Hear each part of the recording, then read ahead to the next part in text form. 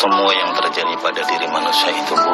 Dan di sini terlihat ya Bu Hesti, mamanya Novia mendatangi Ustadz Arifin dan tentunya beliau meminta nasihat kepada Ustadz Arifin terkait pernikahan putrinya dengan Pak Jeffrey. Sudah pasti atas izin Allah Subhanahu wa taala. Dan tentunya seorang Ustadz yang bijak akan memberikan nasihat-nasihat yang terbaik untuk seseorang. Dan kalau saja kecelakaan itu tidak Dan di sini terjadi, terlihat ya Bu Hesti menyimak dengan seksama apa yang disampaikan Ustadz Arifin kepadanya. mungkin Pak Asraf dan Bu Esti tidak bertemu Di sini Ustadz Arifin menjelaskan tentang kilas balik 19 tahun silam.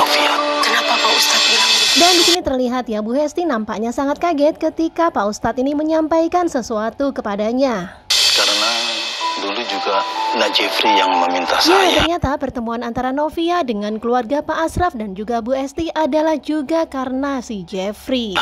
mengenalkan Novia kepada Pak Asraf dan Bu Ternyata Esti. Pak Jeffrey lah yang meminta tolong Pak Ustadz ini untuk mengenalkan Novia kepada keluarga Pak Asraf dan juga Bu Hesti sehingga saat ini mereka menjadi orang tua dari Novia. Dan tentu saja mendengar kebenaran itu Bu Hesti alias mamanya Novia pun jadi bingung dan jadi serba salah ya, bingung banget. Sementara itu terjadi ledakan ya di kantor tempat Pak Samsul bekerja. Nah, kira-kira apa yang terjadi dengan tempat kerja Pak Samsul ya?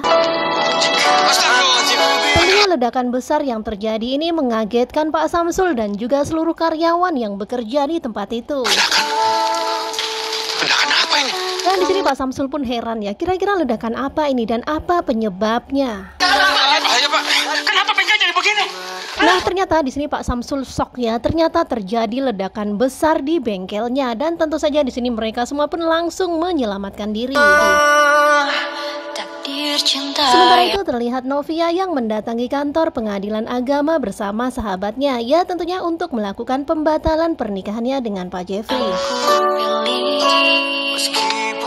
Dan sementara itu terlihat juga ya mamanya Pak Jeffrey nampaknya sangat khawatir dengan apa yang dilakukan oleh Novia. Dia khawatir nanti Pak Arjuna akan berbuat sesuatu kepada Novia. Mama nggak akan membiarkan Novia membatalkan pernikahan Karena kali tentu saja Pak Arjuna nggak akan membiarkan Novia melakukan pembatalan pernikahan itu. Pasti Pak Arjuna akan melakukan segala hal untuk bisa membatalkan apa yang Novia lakukan. Pasti papa akan bertindak Mama nggak mau sampai Novia Ya kenapa-napa tentunya telepon dari mamanya ini pun membuat Pak Jeffrey pun khawatir juga ya dengan keadaan dan keselamatan Novia. Nah kira-kira apakah nanti ya yang akan dilakukan Pak Arjuna kepada Novia? Ya kita berharap Pak Arjuna nggak berbuat yang neko-neko dan membahayakan Novia. Dan bagaimanakah dengan akhirnya Mama Hesti? Bagaimanakah nanti apakah dia akan memihak kepada Novia ataukah memihak kepada Pak Jeffrey? Ya mudah-mudahan aja setelah mendapat nasihat dari Ustadz tadi Mama Hesti mau merayu Novia untuk berbaikan dengan Pak Jeffrey.